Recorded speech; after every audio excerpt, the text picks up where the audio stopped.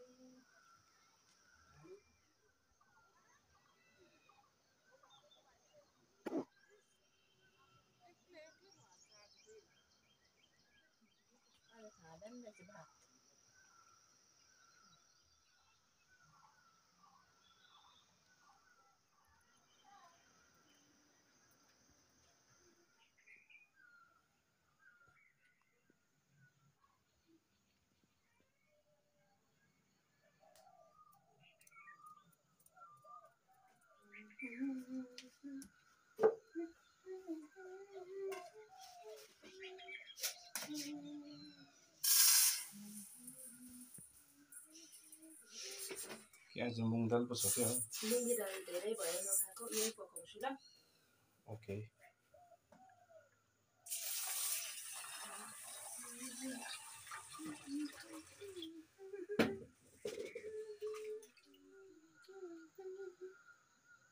म चाहिँ आज नि सुँगुरको मासु यसो हल्का चटनी जस्तो बनाएर खान्छु।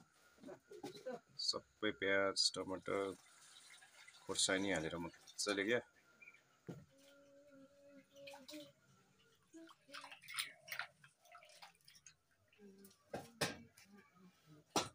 लाई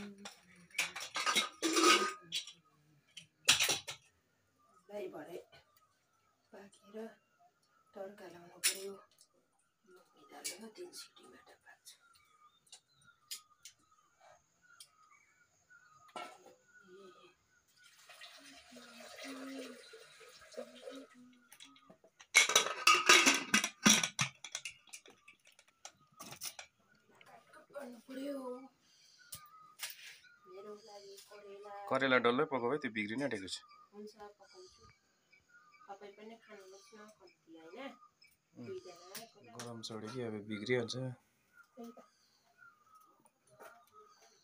तिन चार दिन भयो साह्रो गरम हुँदैछ।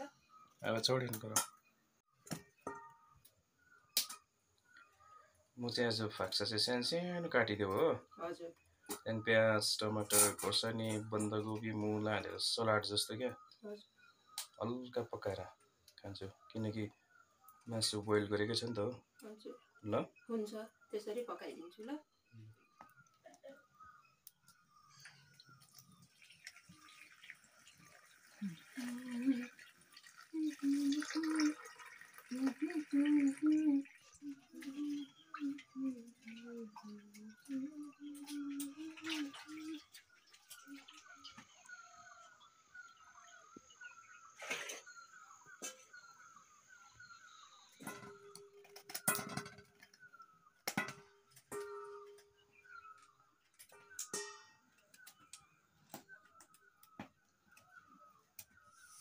आगो ठुलो ठुलो अनि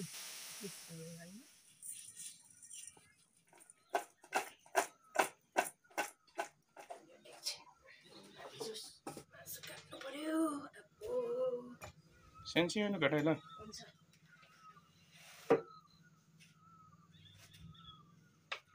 मसिनो काट्नु रे अन्त ठिकैको साह्रै मसिनो नि होइन। सल सल काट नि पाकेकै त छ। यत्तिको ठिकै हुन्छ है।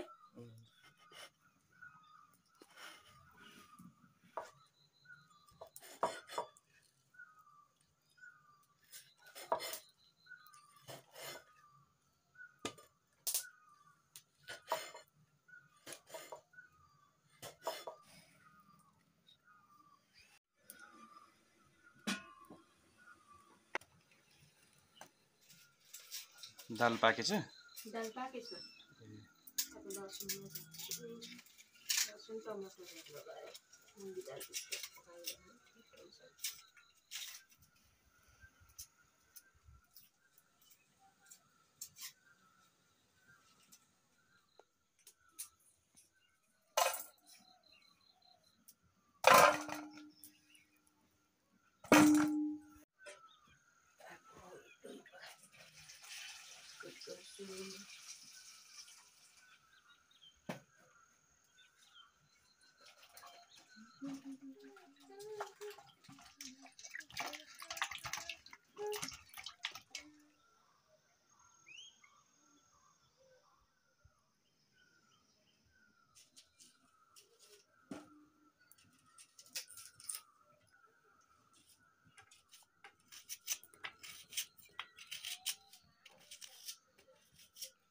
एकपट्टि चुला खेरो भयो त हौ आएको एकछिन अब यो काटिसक्छु क्या त्यहाँदेखि पकाउँछु नि म। अब फाक्सा बनाउँछु।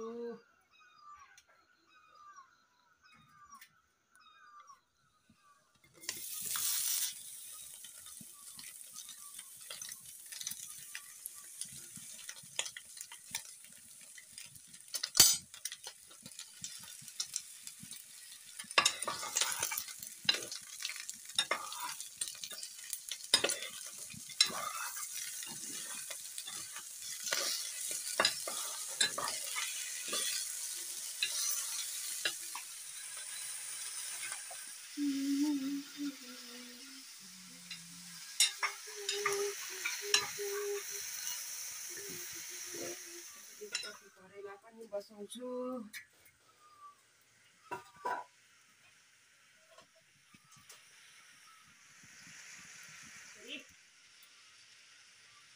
आगो पकेपछि भुवा त हुन्छ नि बुढी अब। आँखा कस्तो पिरो हुन्छ मेरो आँखा त्यसै त कमजोर छ। उहाँले बोलेर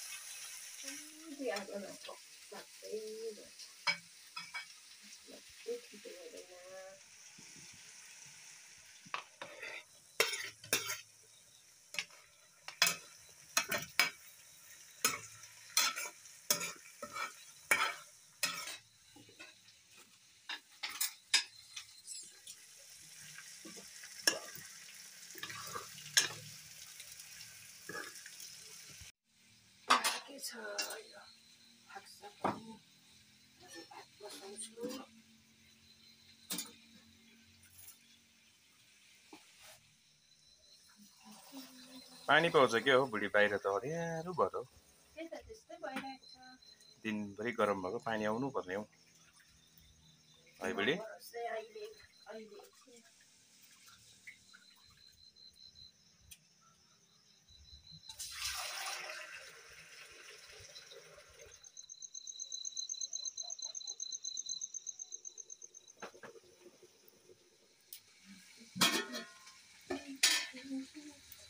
एकछिन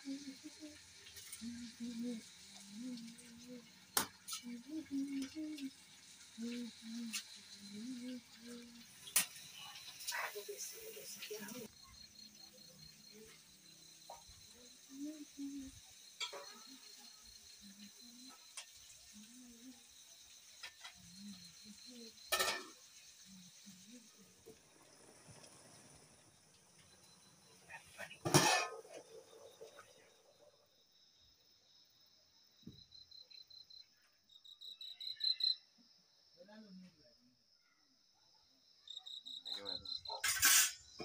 रात गइसक्यो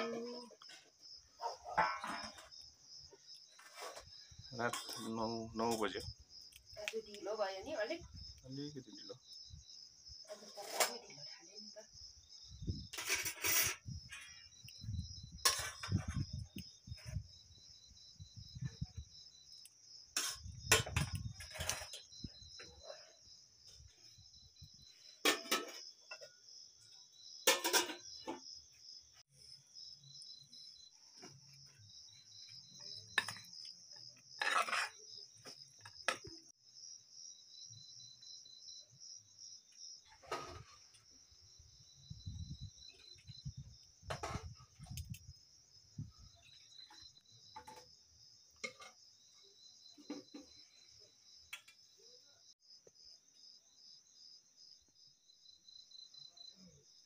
चाहिँ एकदम हेर्दै खाउँ खाउँ लाग्दो भइहाल्छ फाक्सा खाइ ल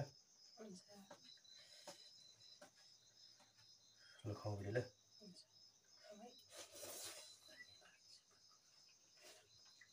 मिठो भएछ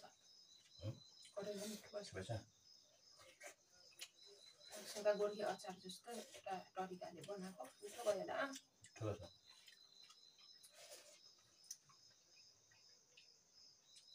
कस्तो मिठो भएछ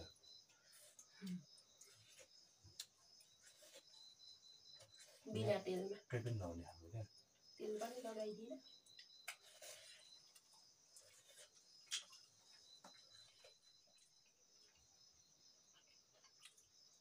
कस्तो मिठो भयो करेला कस्तो मिठो भएको छ खानुहुन्न उहुँ।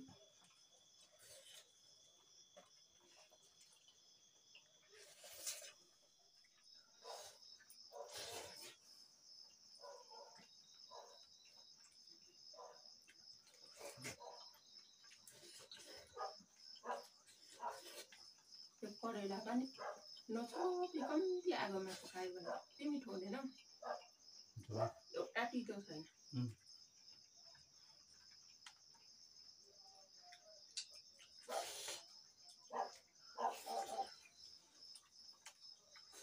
यो खोर्सानी पुरा पिरो रहेछ हौ लगाएको कस्तो पिरो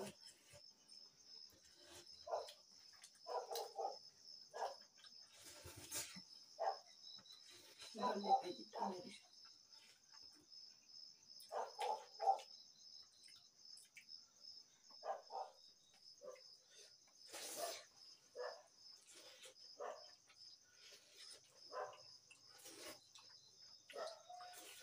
पकाएको मासु निकै हुँदैन रहेछ कम्ती आगोमा पकाएको छ है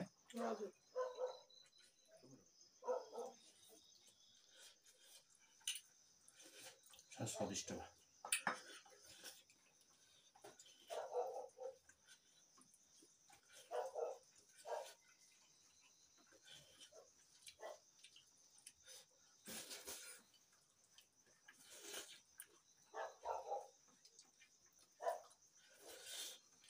बने लाग्यो क्या कुकुर पुरा कुकुर हरेको छ साह्रै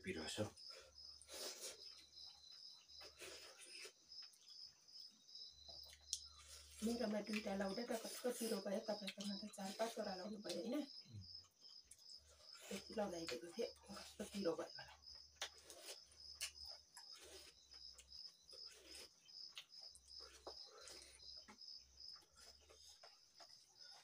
मजा आयो नुनहरू सबै ठिकै भयो होला नि त एकदम सब एकुरेट पिरो चाहिँ अलिक बेसी नै भयो? तपाईँलाई पिरो चाहिँ अलिक बेसी नै भयो है खोर्सानी टोक्यो नि त कि योपालि राम्रो खोर्सानी ल्याउनु भएछ